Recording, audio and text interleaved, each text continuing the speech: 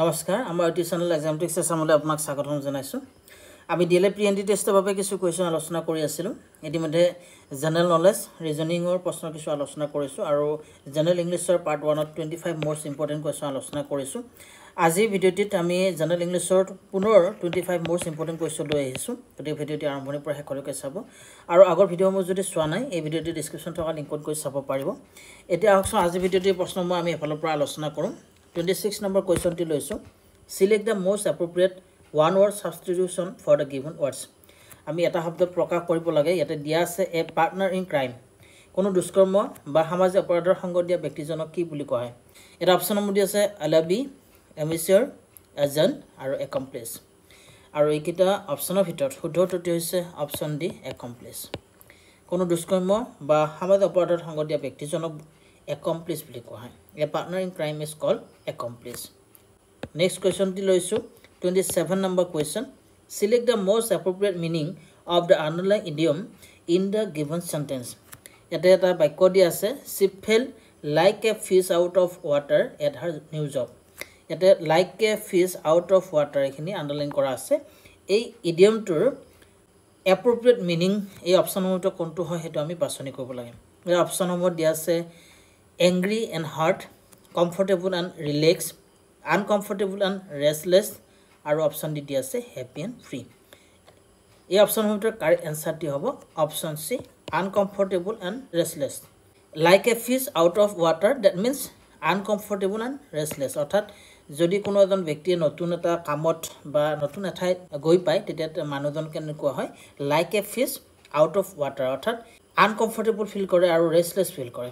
গতিকে option C uncomfortable and restless is the correct answer for this question next twenty eight number কুৱেশ্যনটি লৈছোঁ select the most appropriate synonym of the given word ইয়াতে এটা word দিয়া আছে efficiency এই এফিচিয়েঞ্চিৰ চিননিম অৰ্থাৎ same meaning থকা শব্দ কোনটো হয় এই অপশ্যনসমূহৰ ভিতৰত আমি বাছনি কৰিব লাগে।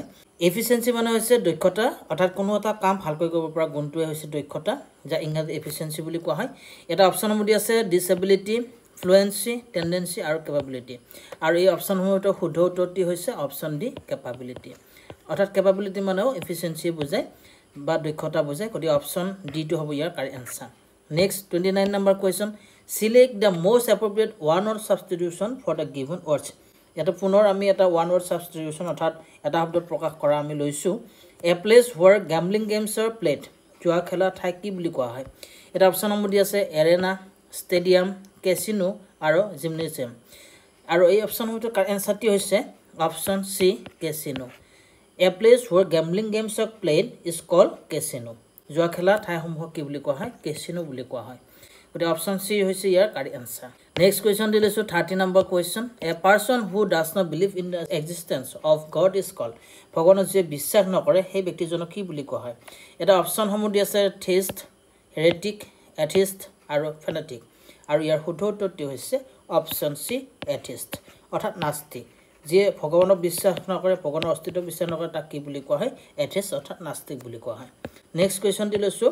এতিয়া থাৰ্টি ওৱান আৰু থাৰ্টি টুত এই কুৱেশ্যন দুটাত কাৰেক্ট টেন্স ফৰ্মটো আমি বাছনি কৰিব লাগে। ইয়াতে থাৰ্টি ওৱানত দিয়া আছে it dash continuously for three hours now গতিকে ইয়াতে আমি অপশ্যনসমূহ যদি চাওঁ will be raining had rain would rain আৰু হেজ বিন ৰেইনিং দিয়া আছে। এই অপশ্যনটোৰ কাৰেক্ট এনচাৰটি হ'ব option D has been raining কাৰণ এই বাক্যটি এটা প্ৰেজেণ্ট পাৰফেক্ট কণ্টিনিউৱাছ টেন্সৰ বাক্য প্ৰেজেণ্ট পাৰফেক্ট কণ্টিনিউৱাছ টেন্সৰ বাক্য। আৰু এই বাক্যটিত আমি যদি ভালকৈ চাওঁ ইয়াতে অৰ্থটো প্ৰকাশ কৰিছে যে তিনি ঘণ্টা ধৰি বৰষুণ দি আছে। গতিকে এই বাক্যটি শুদ্ধ ৰূপ হ'ব। It has been raining continuously for three hours now গতিকে অপশ্যন ডিটো হ'ব ইয়াৰ correct answer next thirty two number কুৱেশ্যনটি লৈছোঁ।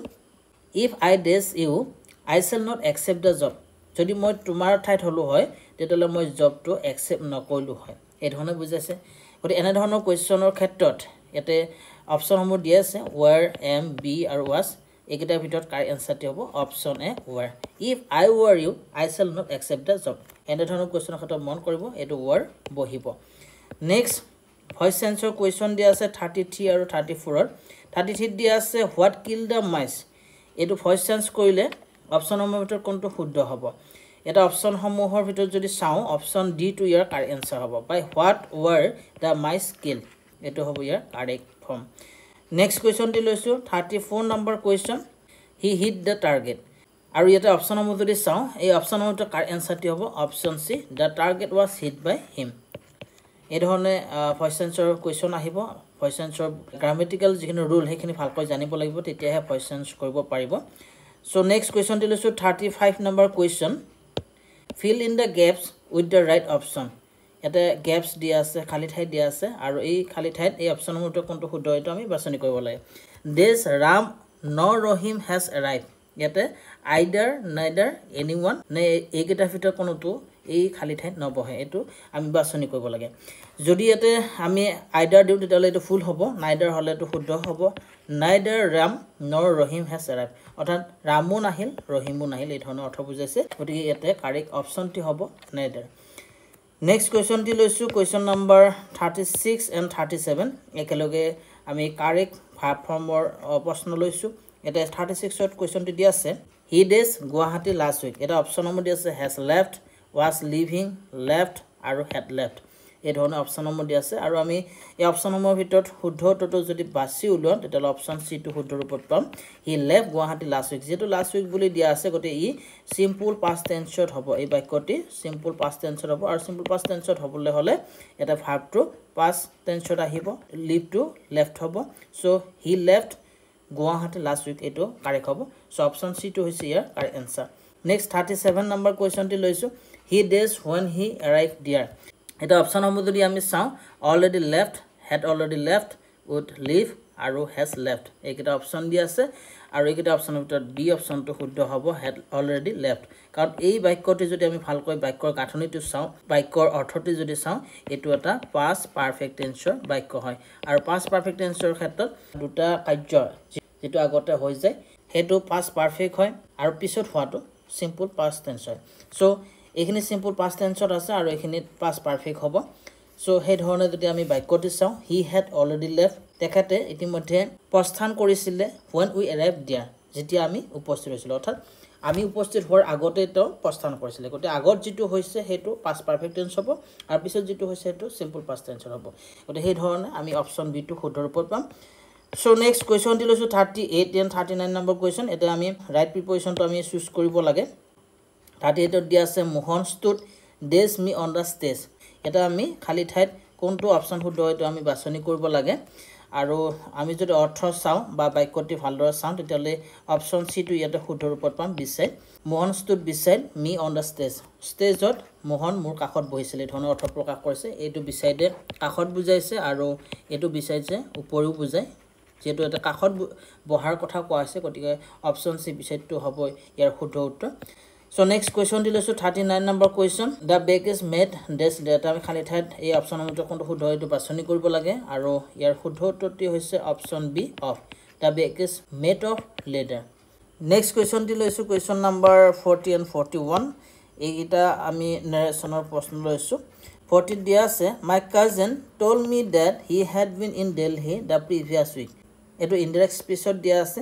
আমি ডাইৰেক্ট স্পীচত যদি লিখোঁ তেতিয়াহ'লে অপশ্যন বিটো হ'ব ইয়াৰ আৰু answer my cousin said to me I was in Delhi last week এই ধৰণে আমি ডাইৰেক্ট স্পীচত পাম।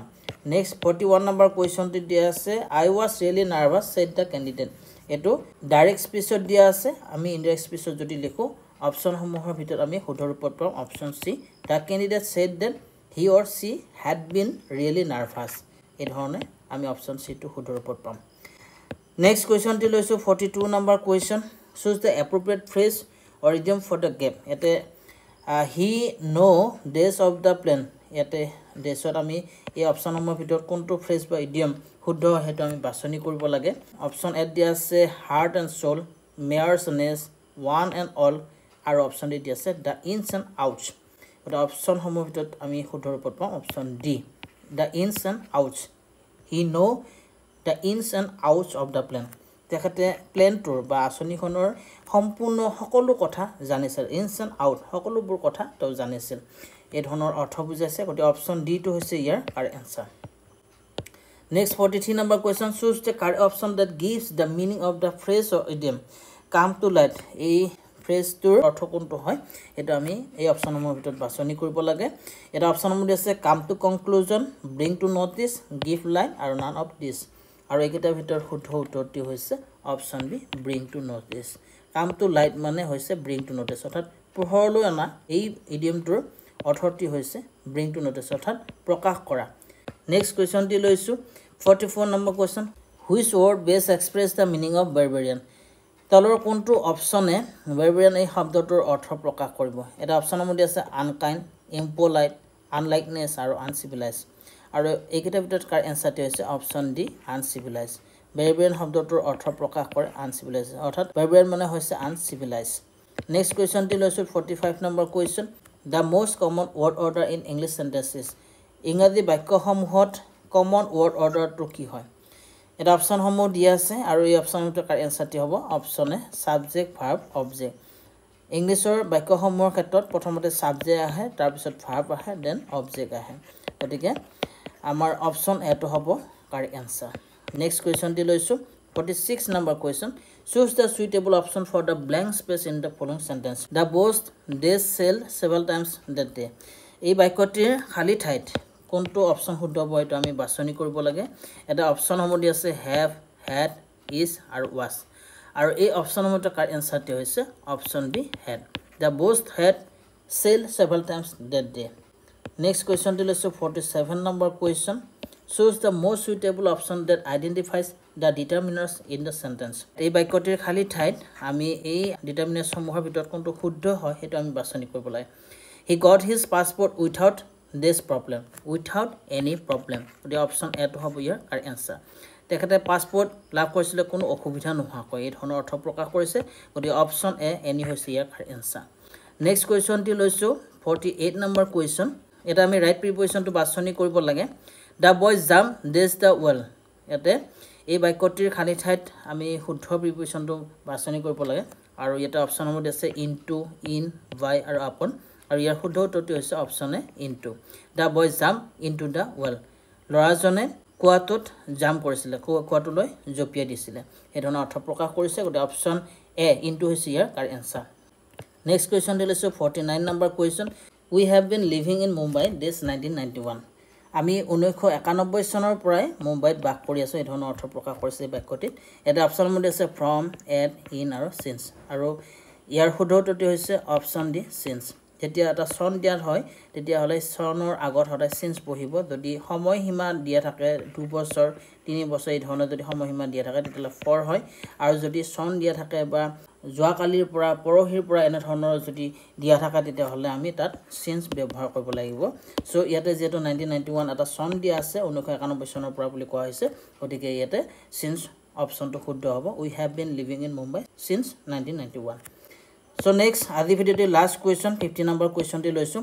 Find the correct question take from the options given below' ইয়াতে এটা কুৱেশ্যন টেক দিয়া আছে আৰু এই কুৱেশ্যন টেকটোৰ কোনটো শুদ্ধ হয় সেইটো আমি বাছনি কৰিব লাগে। ইয়াতে অপশ্যনসমূহৰ ভিতৰত যদি আমি চাওঁ অপশ্যন বিটো হ'ব ইয়াৰ correct answer they will come soon on day এইটো হ'ব ইয়াৰ শুদ্ধ উত্তৰ। গতিকে আজি ভিডিঅ'টো ইমানে আছিলে। পৰৱৰ্তী ভিডিঅ'ত আমি পুনৰ নতুন নতুন কুৱেশ্যন লৈ আহিম। তেতিয়ালৈকে চাই থাকিব এক্সামটিভ চেচাম আৰু যদি চেনেলটো এতিয়ালৈকে ছাবস্ক্ৰাইব কৰি দিয়া নাই চেনেলটো ছাবস্ক্ৰাইব কৰি দিব। কাষত থকা বেলেগখনতে ক্লিক কৰি নটিফিকেশ্যন অল কৰি ৰাখিব যাতে আমাৰ এনেধৰণৰ ভিডিঅ'সমূহ আপলোড কৰাৰ লগে লগে আপোনালোকে লাভ কৰে। আৰু আমাৰ এটি ফেচবুক পেজ আছে G K for Assam exam সাধাৰণ জ্ঞান বুলি। এই ফেচবুক পেজটো আপোনালোকে ফ'ল' কৰি থ'ব যাতে ডেইলি জি কেসমূহ আপোনালোকে লাভ কৰে। ধন্যবাদ।